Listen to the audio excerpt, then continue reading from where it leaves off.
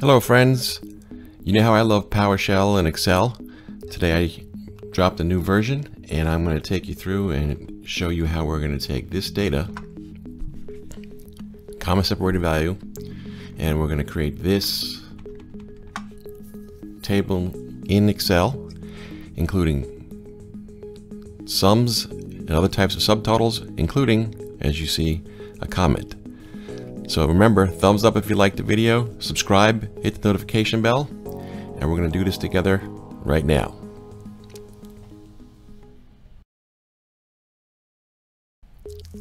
Okay, so let's get started. So here, I just have some comma separated value file uh, format, CSV. I'm going to convert that this piece of text into the variable dollar data using convert from CSV. And let's take a look at the Excel. So I'm going to save it to total uh, totalsrow.xlsx. Um, and here are the parameters I'm going to pass to export Excel. I'm going to create a table name called sales. I'm going to create table style, medium 10, um, auto size, and I'll set the path to where the, the Excel file is going to go. And I'll enable the show switch with dollar $true. So I'll take the data, I'll pipe it to export Excel using these parameters. And let's see what we get. And there we go, that's the CSV data. Let's take a look at that again. That's this CSV data in Excel.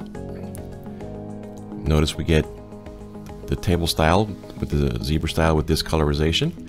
Uh, we get uh, drop down so we can filter the data if we want. And let's take a look at how we created these total settings. So now you can create a uh, table, any variable, we're going to call it table total settings, and we're going to make a hash table. You specify the name of the property, quantity for example.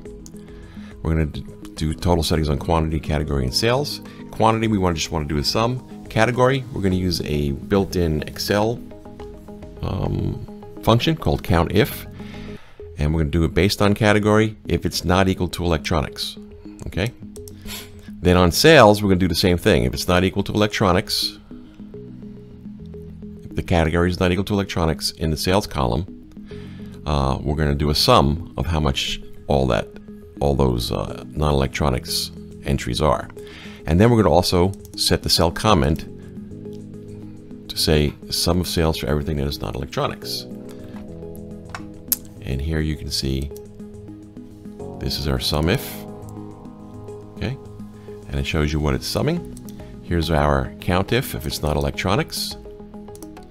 And this is just our sum by putting sum in, uh, it'll drop in subtotal with the proper concept um, based on that property name. And if I hover over sales, you can see that the comment was set. So, download the newest version, give it a try. Just as a shout out to Thomas, a member of the community, he built this new feature. Um, I took his pull request, he built tests, he tried everything out, he did comments, he updated the help, updated all the key features that are needed for a release. Uh, so shout out to Thomas, really appreciate it. So check this out, it's a cool new feature. Okay, thanks.